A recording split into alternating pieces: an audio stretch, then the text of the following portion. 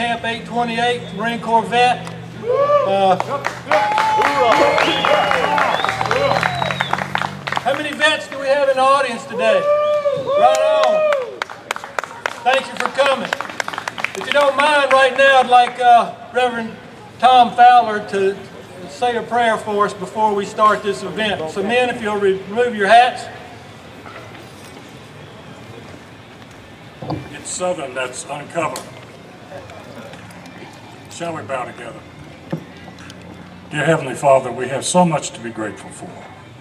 We're grateful for our country, we're grateful for our people. We are so grateful for our heritage, for those that stood up and bled and died for us, handing us a good America. We are grateful, Father, for Virginia. We thank you for Major Sutherlin and Colonel Withers. We thank you for the ones who stood for us long ago, for those today that wave their heritage, their flag proudly. We ask your protection.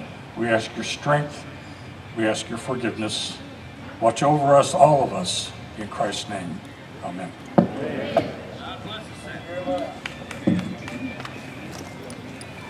Okay, does everybody know the definition of a veteran?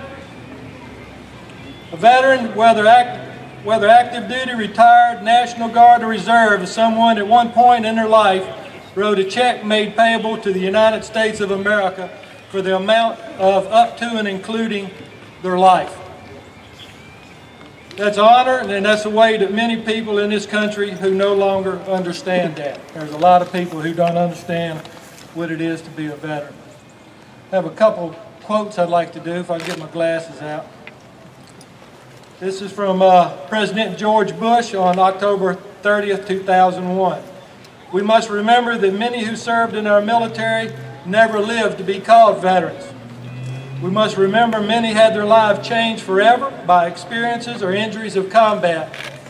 All veterans are example of service and citizenship for every American to remember and follow. And then on, on the same day, he says, we're a nation of patriots. The attacks of September 11th, the attacks that have followed, were designed to break our spirit, but instead they've created a new spirit in America. We have a renewed spirit of patriotism. We see it in the countless flags that are flying everywhere in America. We hear it in familiar phrases that moves us more deeply than ever before. I'll give you a couple facts about veterans. There are currently 25 million living veterans. Over 48 million Americans have served in the military during war and peace since 1776. Every year, about 80,000 veterans are buried in one of the cemeteries of, our national cemetery system. The hard part for me is this one. U.S. Department of Veterans Affairs estimated that there are 131,000 veterans who are homeless on any given night and approximately, approximately twice as many experience homelessness over the course of a year. That's unacceptable. 131,000 vets homeless every year. We need to do something about that. National Coalition of Homeless Veterans estimates that the VA serves about 25% of veterans in need, a figure that would leave approximately 300,000 veterans each year to seek assistance from local government agencies and volunteer organizations. In general, the needs of homeless veterans do not differ from those of other homeless people. The National Coalition for Homeless Veterans suggested more effective programs are community-based, nonprofit, veteran helping veterans. However, there is some, some evidence that programs which recognize and acknowledge veterans' experience may be more successful in helping homeless veterans transition into stable housing. Until serious efforts are made to address the underlying causes of homelessness, including inadequate wages, lack of affordable housing, and lack of accessibility, affordable health care, and the tragedy of homelessness among both veterans and non-veterans will continue to plague American communities. U.S. Senator Jon Kyl from Arizona once said, one thing that makes our military the best in the world is a certain knowledge that each soldier, sailor, airman, and marine know that they can always count on their comrades should they need help. And they will never be abandoned. As long as we continue to hold gatherings in America like the one today, I think we can be confident our nation will survive and prosper for many generations to come. Thank you very much.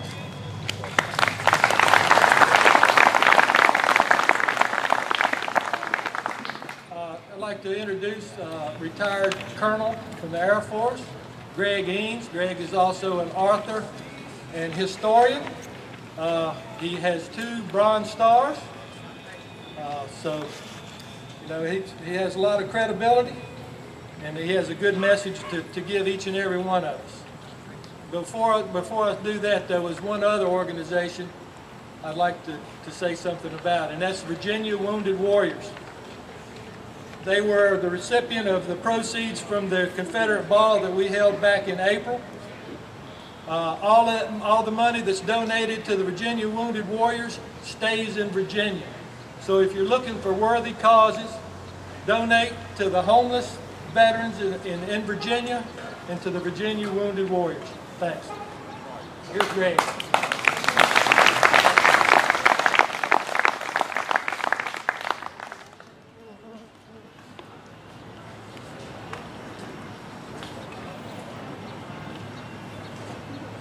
Thank you. There you go. He's taller than I am. Thank you all for coming out.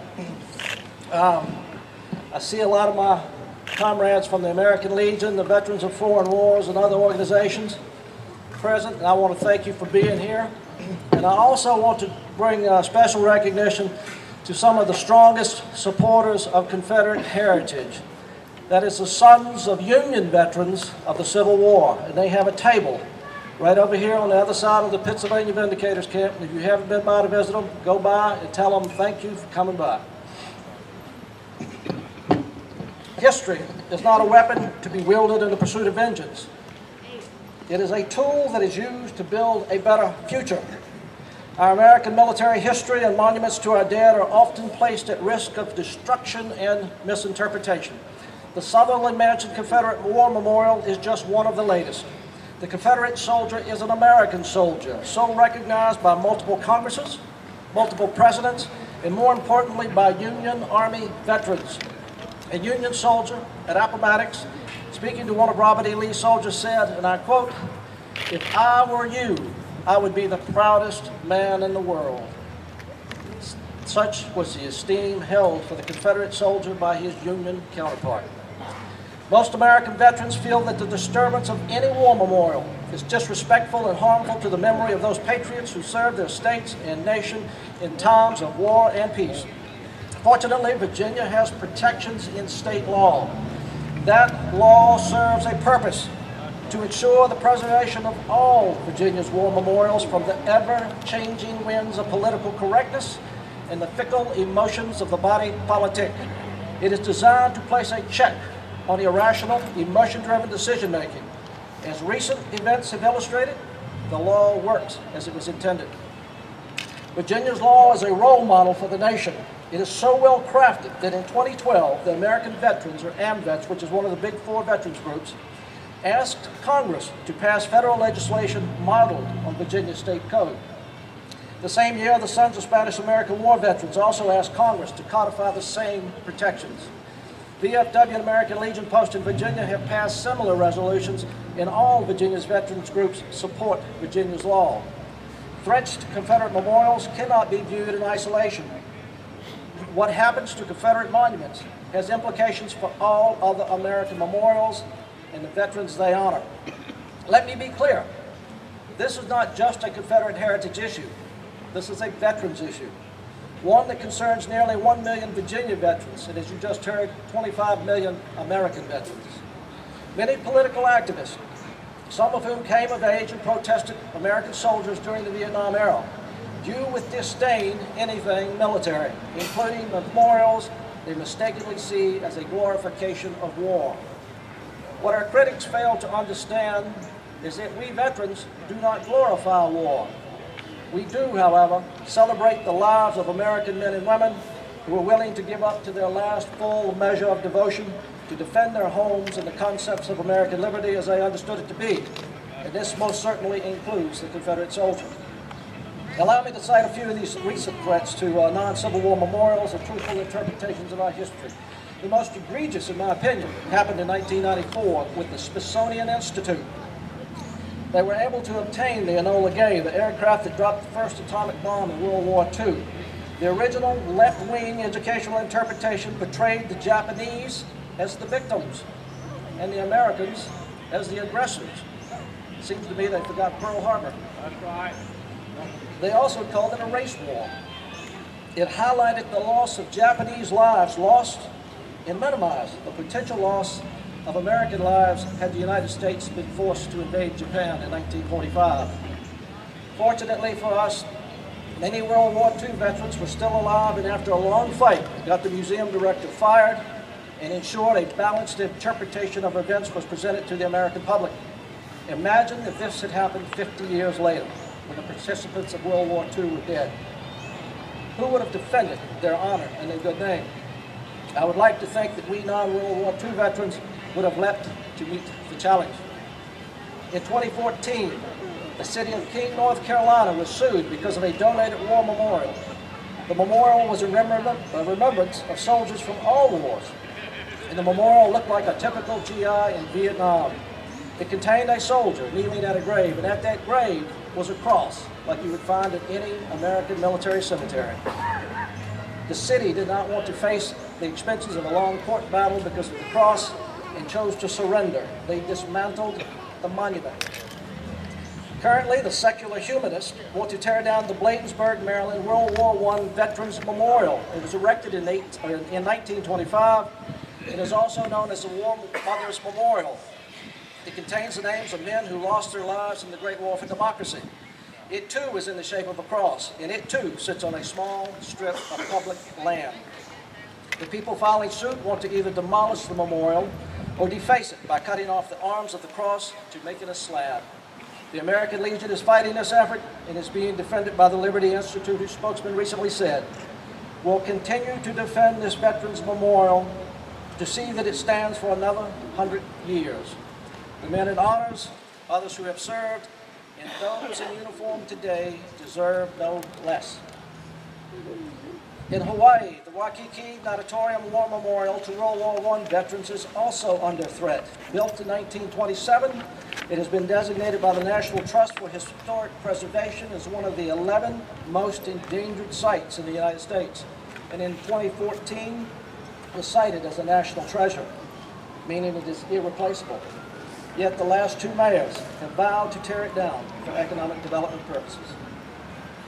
Two recent cases have been precedent setting. Both have established a pattern for transferring public lands, where these memorials sit, to suitable private nonprofits so these memorials can be retained in place and cared for at private expense rather than taxpayer expense. the Mount Soledad Veterans Memorial Cross in San Diego was dedicated to Korean War veterans in 1954. In 1989, a group sued for the memorial's removal because it displayed a Christian cross. After 25 years of state and federal litigation, at tremendous cost to their taxpayers, it took congressional action to authorize the eventual transfer of the war memorial and the land to a private nonprofit known as the Mount Soledad Memorial Association. The other case is the Mojave War Memorial in Cima, California, dedicated to World War I veterans. It too contained a cross.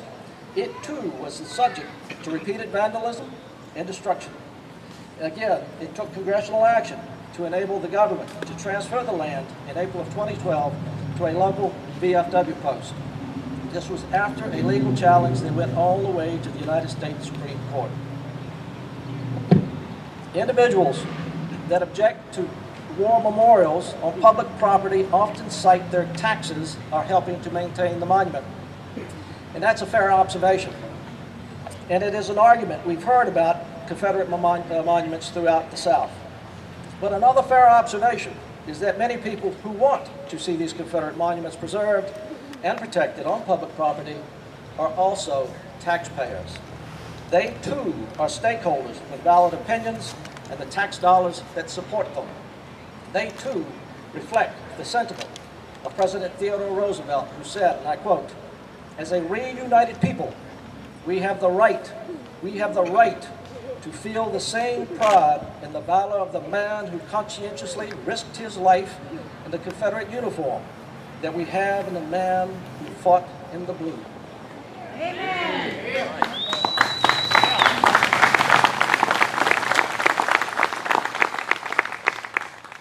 With that in mind, the transfer of war memorials and the land they sit on to private nonprofits appears to be a reasonable compromise in certain cases.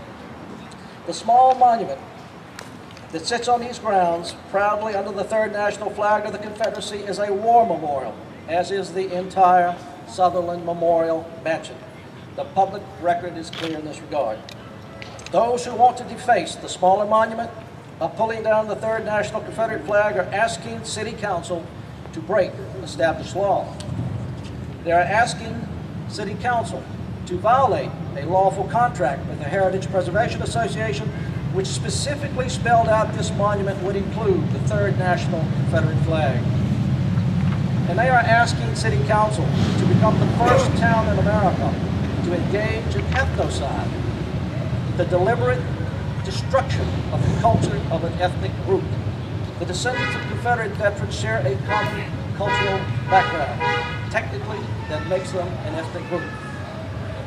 Any attempt to deface the monument will result in a court battle which will be long, drawn out, and needlessly waste the taxpayer dollars of Danville citizens.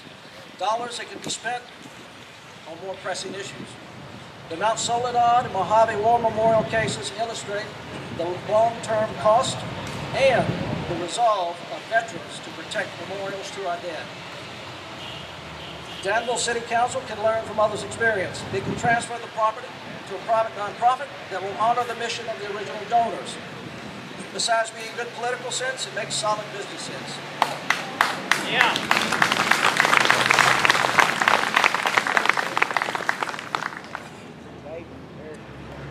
The Danville Museum of Fine Arts had a revenue shortfall of $612,000 between 2008 and 2013.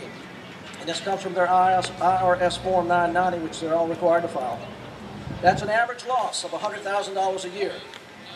A recent architectural and engineering inspection revealed there are several thousand dollars in maintenance and upgrades needed. The building and grounds could cost taxpayers over a million or more dollars in the next 10 years. Danville City Council has been offered up to one half million dollars for the Sutherlin Mansion and the grounds.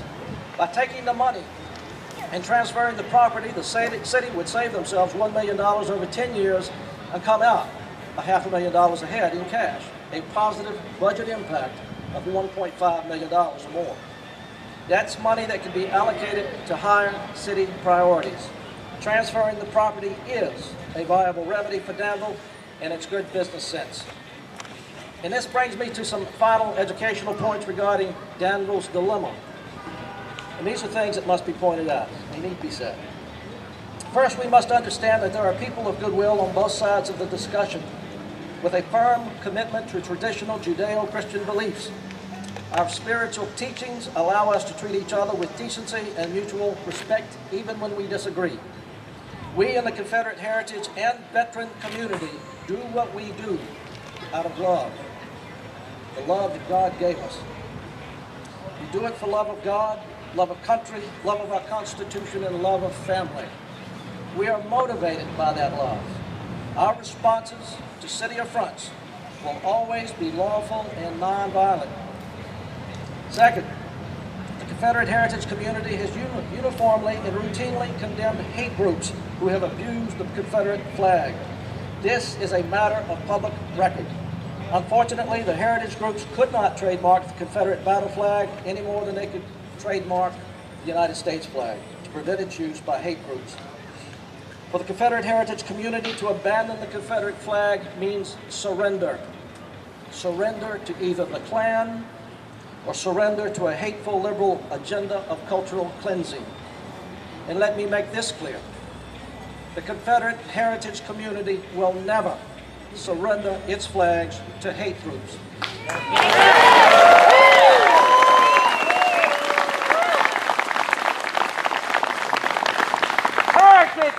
Hate. Third, hate groups are vermin. Hateful people victimize people of color during the civil rights era. Some of those victims are still angry and bitter, and they have a right to their anger. They do have a right to that anger. But that anger is misdirected when it is aimed at monuments to our Confederate dead. The victims of 1960s hate are somehow under the mistaken impression that by tearing down our war memorials, they are wreaking vengeance for wrongs committed in the civil rights era. We are sensitive to their pain, but two wrongs do not make a right. We also caution that their anger and desire for vengeance makes them imitators of those who originally caused their pain. I urge all citizens to remember the words of Dr. Martin Luther King, and I quote, like an unchecked cancer, hate corrodes the personality and eats away its vital unity. Hate destroys a man's sense of values and his objectivity. And I say to them, do not become what you claim to despise. Fourth, there's, a much, there's much in our free society that is offensive. The most offensive thing I can recall is a work of, so-called, of a so-called artist entitled Immersion, Piss the Christ. A photograph of a Christian crucifix in a jar of urine. The artist received 20,000 federal tax dollars to create it. It was displayed in a federally taxpayer-funded museum. Not only was it offensive and paid for with our tax dollars, it was hurtful to those of us of the Christian faith. My point is this. In a free society, hurtful is not justification to remove from public view the things one may deem offensive. As honest Americans, in our free and open society, we have to exercise tolerance. And tolerance, like prejudice, is a two-way street. And finally, Dr. King dreamed of a table of brotherhood that is open to all persons, specifically citing the sons of former slaves and the for sons of former slave owners. Dr. King died working for that dream. We in the Confederate heritage community share Dr. King's dream that we all be treated equal.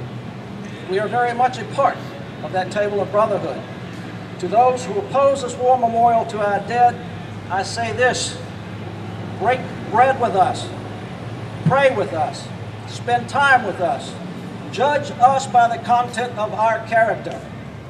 Understand that the positive aspects of our Confederate military heritage are very much a part of us.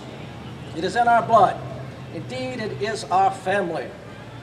We would not reject it any more than honest Christians would reject our Lord and Savior, Jesus Christ.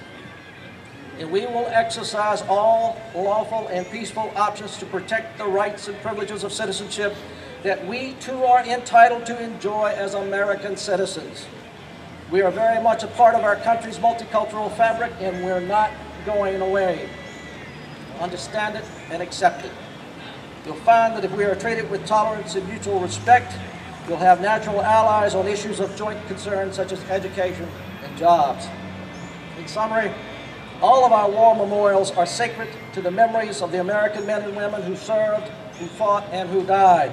If public entities no longer wish to care for them, then we in the veteran and military heritage communities are prepared to step up to fill that void. But it is a sad day in the history of our country when the public at large refuses to honor those citizens who have risen to defend it. What message does disrespect of our war dead and their memorials send to our youth who will be entrusted with protecting our freedoms in future conflicts? Is this how we wish to be remembered? That is not a course for honorable people.